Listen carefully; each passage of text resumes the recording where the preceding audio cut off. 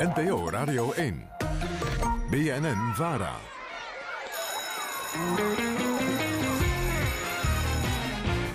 De Nieuws-PV. Terug naar school. Met Erik Korton en Willemijn Veenhoven.